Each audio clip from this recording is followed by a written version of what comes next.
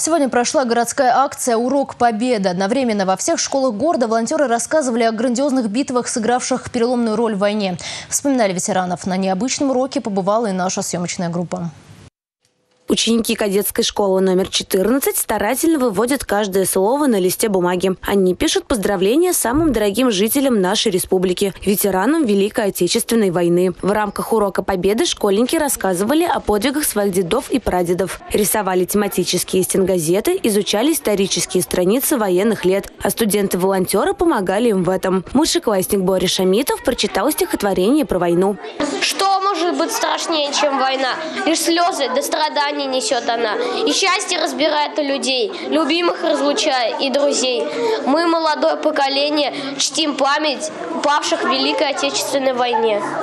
Такие патриотические уроки проводятся постоянно. Но в этом году одновременно во всех школах Чебоксар они прошли впервые. В этом году это особые уроки. Уроки, которые ознаменованы большим-большим юбилеем. Сегодня очень большое внимание в нашем городе уделяется патриотическому воспитанию э, детей и кадет. Наши кадеты будут участвовать в параде Победы.